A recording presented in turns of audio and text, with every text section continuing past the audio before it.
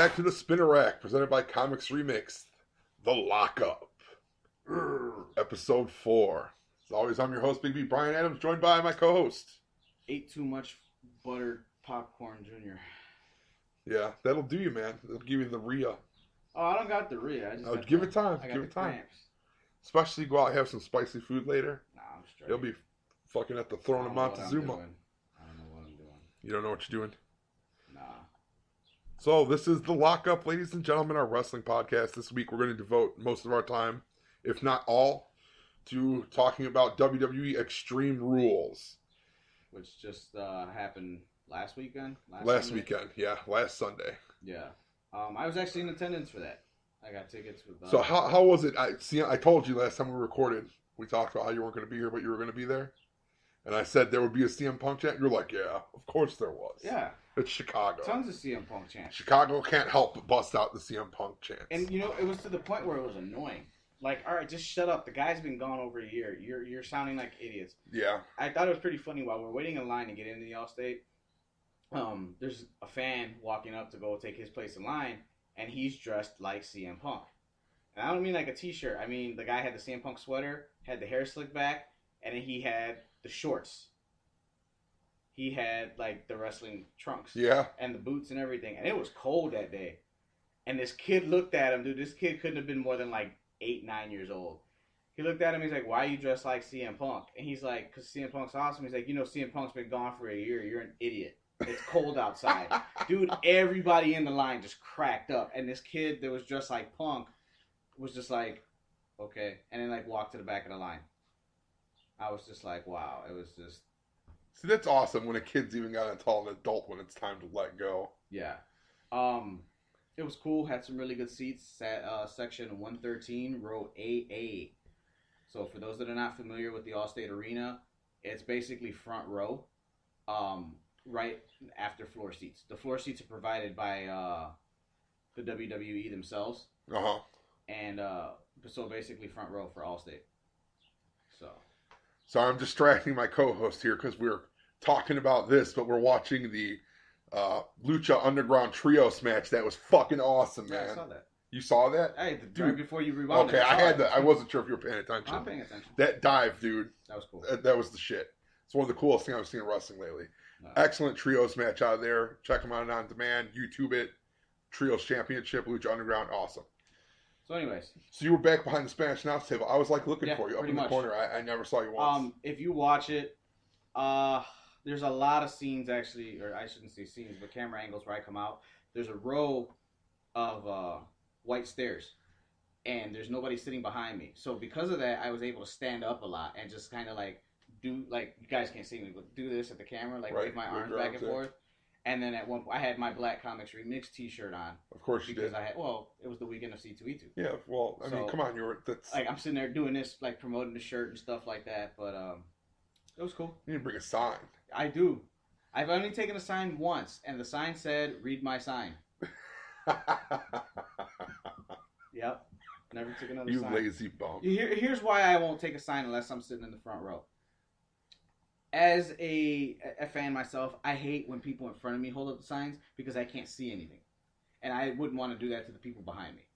Right. No, that's understandable. You know.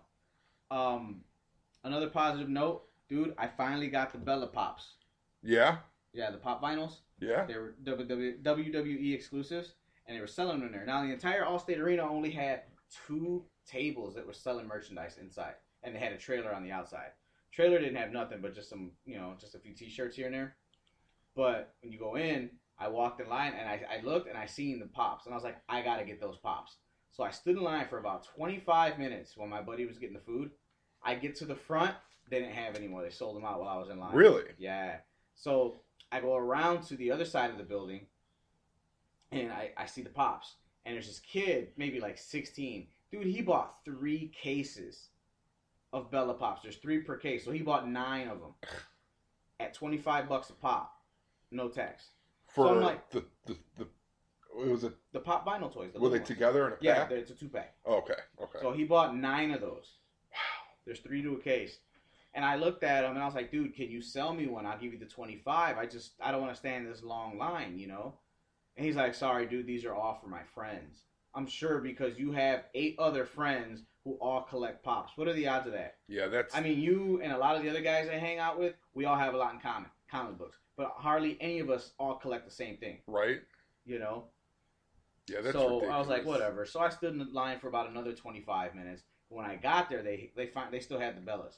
So I asked the lady, I was like, that's all I want. She's like, if I would have known this was all you want, I would have just had you cut in front of everybody. It's like, well, oh well. So I go, I take my seat, show starts. Um, the first match was uh, the pre-show match. It was Neville versus Wade Barrett. That was a damn good match, especially in person. Man, you know, out of all the guys that have come up from NXT, they are handling him so well. Yeah, And even though he's not winning all his matches, he's going out there and putting on just he's he has a following. I mean, already from NXT, but the the main WWE crowd that probably doesn't watch NXT, dude, that guy's just impresses, man. Even Melissa was impressed. she's like, damn, look at that guy yeah. does amazing stuff. Neville, So that match was great. You know, um, I believe Neville went over in that match, if I'm correct. Um, but the first main match for the pay per view was uh, Dean Ambrose versus Luke Harper in a Chicago street fight. Now let me say this about street fights. I don't care where they are. I mean, they hype Chicago street fights. I guess they're supposed to be like this big thing.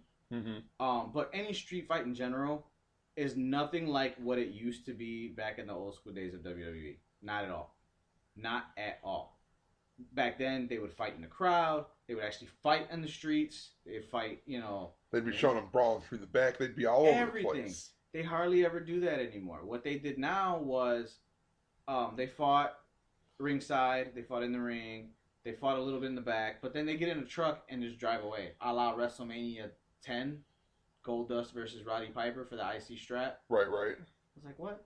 So, you know, that match goes away. And uh, you really don't know who won. Because, you know, they drove off. Whatever. Um, so next match you have was uh, Dolph Ziggler versus Sheamus in a Kiss Me Arse match. Um, very brutal fight.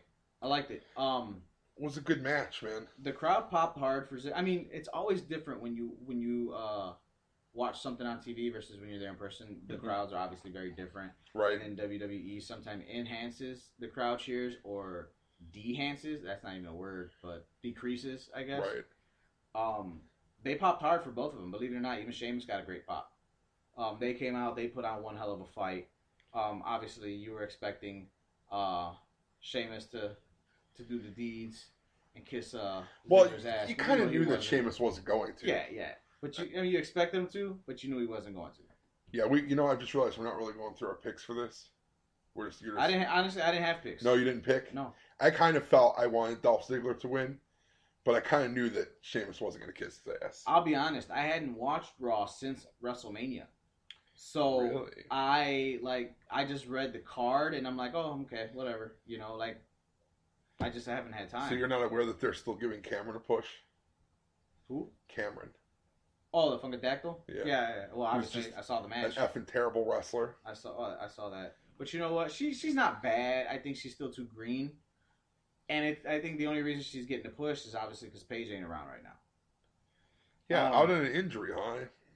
She's filming something. You think so? No, she's filming something. Oh, okay. um, so yeah, Ziggler versus Sheamus in a kiss me arse match, where uh, Sheamus lost. He was supposed to kiss uh, Ziggler's backside. But then he made Dolph kiss his. Yep. Um. Besides that, after or I should say after that though, um, we have tag team championship match: The New Day versus Tyson Kidd and Cesaro. The shocking match of the night. Oh, I I would agree. Which I'm going to tell you right now, those guys just wrestled again uh, for a rematch on SmackDown this past week. Phenomenal match, dude. You know, I was thinking about that. I was talking to my buddy on the way back from Allstate. What if WWE was giving us a swerve the whole time with the New Day? We, as internet wrestling fans, don't think that WWE is capable of doing stuff like that anymore. But here's my theory: when the New Day, before they were actually called the New Day, and they first we first heard rumors of them working together at live events as a heel team, supposed to be the new Nation of Domination. Remember Uh-huh. that? Yeah, totally. What yeah, if, when they were wearing the suits. yeah. What if they they were testing at the live shows how they would go over as a as a heel faction and says, you know what, we're gonna make the crowd hate them organically. So we're gonna make them such obnoxious faces that you have no choice but to hate these guys. That's a brilliant strategy because it worked. Yeah, that's what I'm saying. Because who who in their right mind would sit there and they were like, you know, cheering for the new day when they came on? You Yeah. either heard crickets or you just that was the bathroom break. Like nothing, not to take away anything so- from the three of them, New day sucks. New day sucks. You know? the chant. but it's like nothing to take away from them as athletes because they're all great. Yeah. But I mean, just storyline. They're not even storyline, but character wise, I think that's what WWE did. They saw, you know what? We're going to force them. They're going to hate them, and that's what we want. We'll let them be heels organically. They uh I, go ahead. they need to get uh oh damn I forgot his name now. The All right. one the, he's in New Day. Xavier Woods. Xavier Woods. They need to like that guy needs to have matches. yeah. That guy was a hell of a wrestler in NXT, doing nothing. He's like an over. Well, he's like always injured. He's like a Every valet. Is that what it is? Every time you turn around, he's got a cast on his leg, and then when he doesn't, he's just not scheduled. But I think it's one of those situations where, I mean, if if, if I'm wrong, correct me, where the three men have the tag belts, so any three of them could, or any two of the three can defend them. I don't know how true that is because up to this point, it has always been Kofi and Big E. Yeah. Even though Xavier Woods will be seen time to time sporting those belts. Yeah. Which also, are they trying to like make them such heels that they're pushing primetime players to be faces to go against them? Because time prime, the primetime players still cutting great promos haven't been seen Very true. in an actual match. I have no idea. Um, I, I also am kind of amazed at how organically, like they threw Tyson Kidd and Cesaro together, and I really didn't think that, but they have gelled into a great tag team. Like it's one of those mixed match tag teams where like you're like, this is retarded, this will never work. The guys work great together, man, great. hmm And like I said, they've had good matches against New Day since they dropped the titles, which I'm still amazed at. So going from there, as the New Day was celebrating their title victory, uh, the SUV from earlier pulls up and out jump or out falls Luke Harper, and Dean Ambrose is coming back with him, and you got to wonder, okay, so you guys were just hanging out in the car the whole time, you know, They're smoking weed, you know, something. cruising around the city. But uh, Dean Ambrose comes out with the win, his first pay per view win since defending, successfully defending his United States Championship when he was part of the Shield. Wow. Well, yeah, because he lost that U.S. Championship on a pay per view. That was the match before that where he successfully defended it. Was his last pay per view win.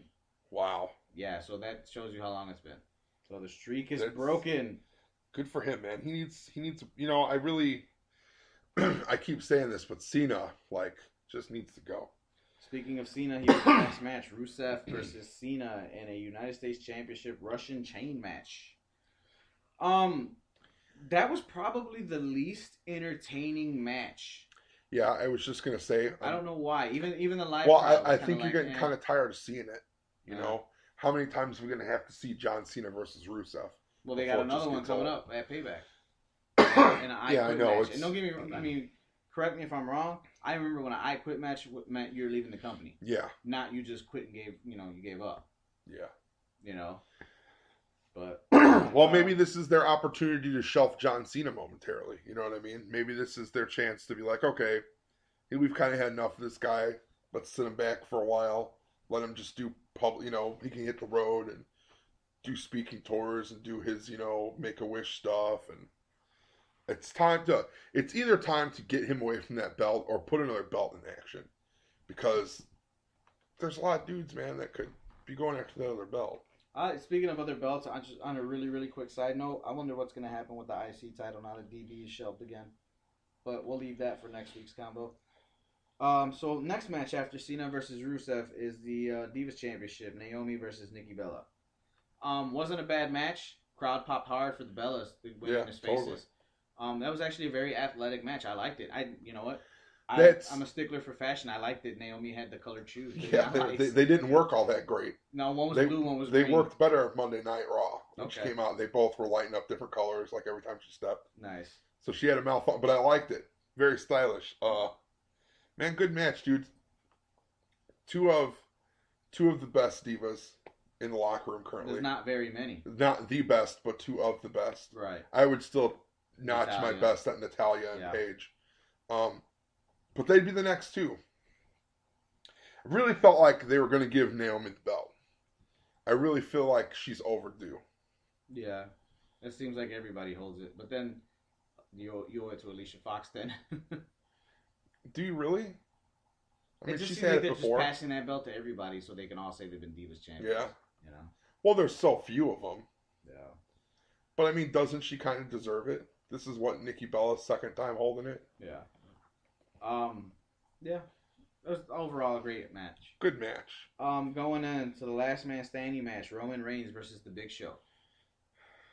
You know what? It wasn't. It wasn't a bad match. I'm tired of that that that pair up, but the it was and I don't know how it came out on TV. Like I said, I haven't watched it, but being there, the atmosphere for that match was really really badass. You'd have thought it was a main event. Yeah. Yeah, it was really like everybody was really, really into it. Like the crowd was definitely on Roman's side, and Big Show really did a good job of getting the heat from the Chicago crowd. You know, Well, he's an excellent heel, man. Uh, Big Show.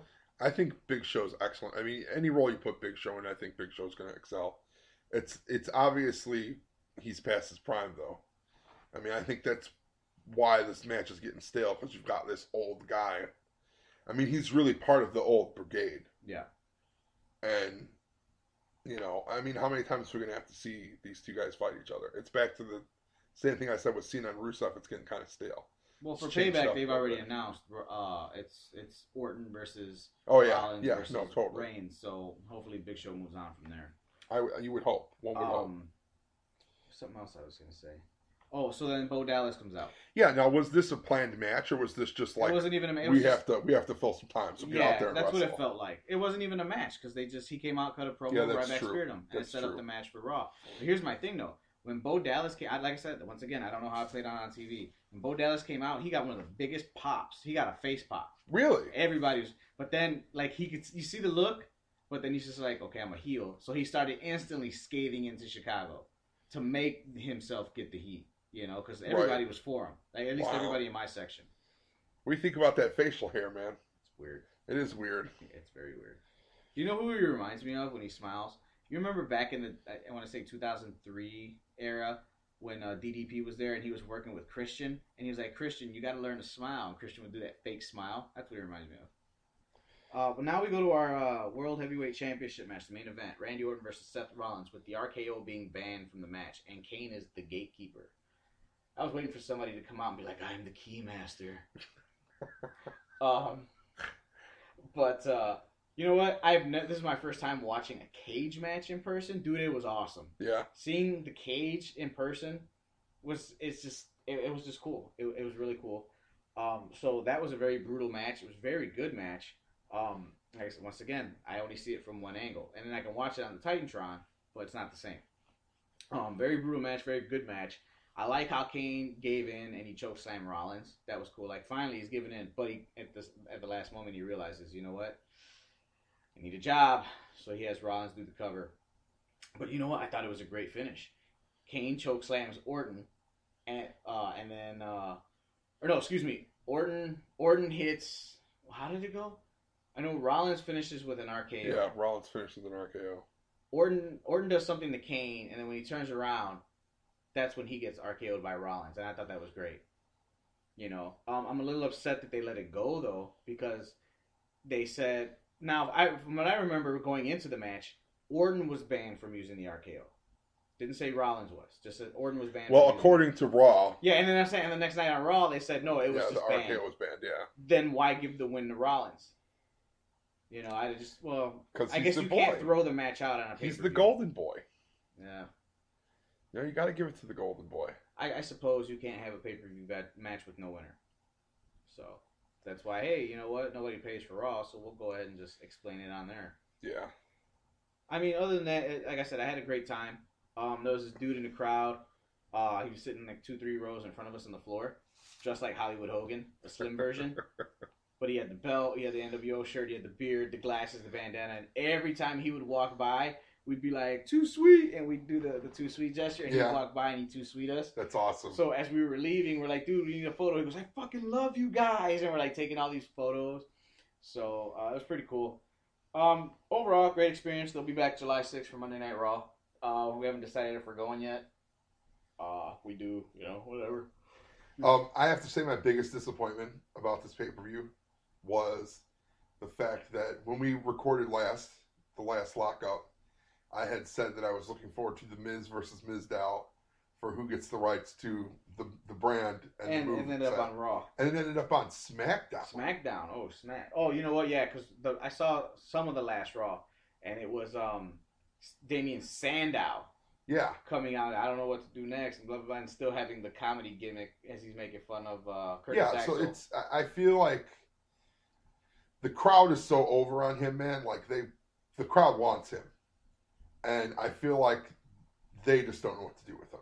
I, I, you know what? I agree because I see that even like as a fan, as a fan, we sit here and we can take a, a wrestler and be like, you know what? They should do this with him. They should do that. Sandow is one that comes out. It's like I really don't know what direction they should go in with him. Like when he first came out back as Damien Sandow, he talked about how, you know, I came out here trying to be the savior of the masses, and you all told me how you felt about here. And then, you know, obviously I went through, everyone says I went through an identity crisis.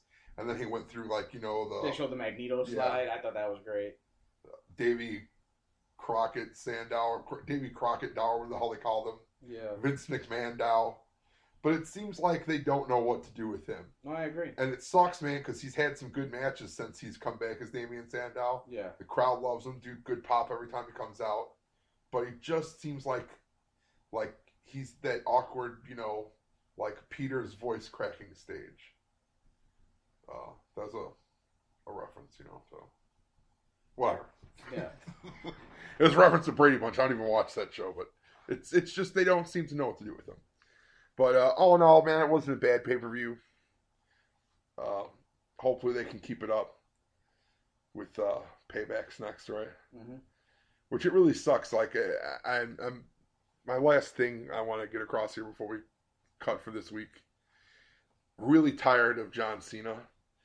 Really tired of John Cena's open challenge match when we already know the day after the fucking pay per view ends that he's gonna defend it at the next pay per view. We knew that night.